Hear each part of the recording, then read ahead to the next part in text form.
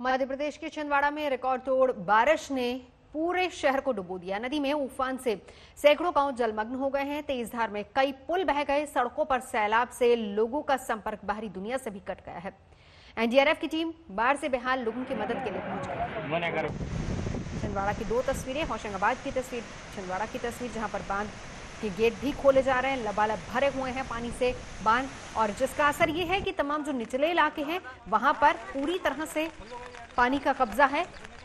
जलमग्न हो चुके हैं तमाम इलाके।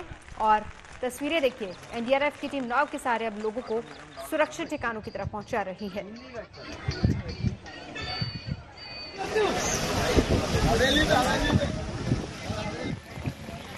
सैकड़ों गाँव जलमग्न हो गए हैं। कई जगह रास्ते इतने खराब हैं, सड़कें पूरी तरह से टूटी हुई हैं कि संपर्क भी कट चुका है आसमान से लगातार आफत बरस रही है हालात ये हैं कि ज़मीन पर अब लोगों का रहना काफ़ी मुश्किल होता है.